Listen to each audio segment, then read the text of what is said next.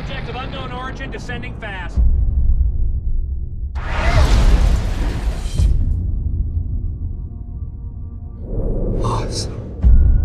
Stephen Hawking, astrophysicist and arguably one of the smartest people on the planet, warned us about the possibility of aliens from outer space.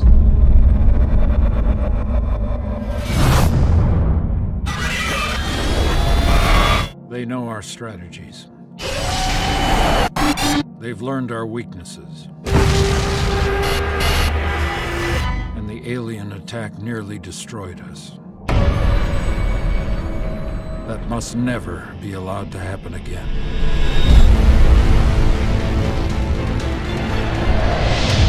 If we're going to survive, we need a new kind of soldier. One who doesn't think the way we think. Fear the things we fear.